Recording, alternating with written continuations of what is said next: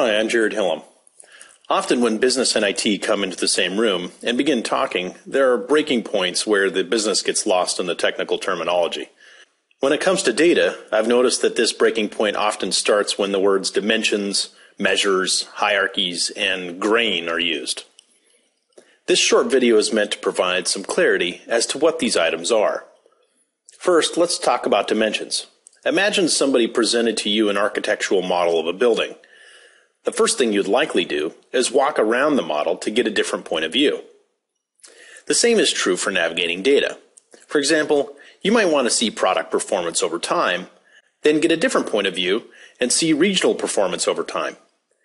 These represent perspectives, which we technically term as dimensions. Dimensions can be anything which can consistently categorize your data and provide you with a better point of view. Here's a common list of dimensions you might find in your business. Now, dimensions by themselves make great lists, but they don't tell us much without marrying them with some measures. Measures are the numerical values that can be added up to provide some meaning to your dimensions. Good examples of measures are revenue, cost, quantity, etc. So now let's say that you're navigating and investigating the data, but you want to go deeper into a region and look into individual countries and possibly drill into some states. This is where hierarchies come into the picture. Hierarchies break down the dimensions into navigational paths, which you can use to get a more granular level detail in the data. And this brings up a good question. How granular or how detailed do you want your data to be? See, the deeper down you go, the more data you have to both account for in your project and calculate for the end users.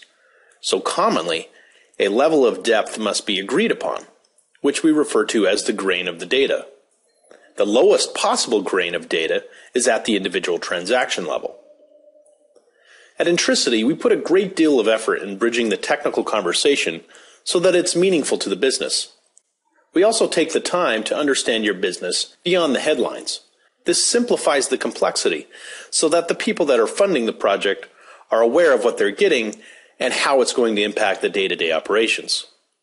I encourage you to visit Intricity's website and talk with one of our specialists. We hope to have an opportunity to work with you to build your next success story.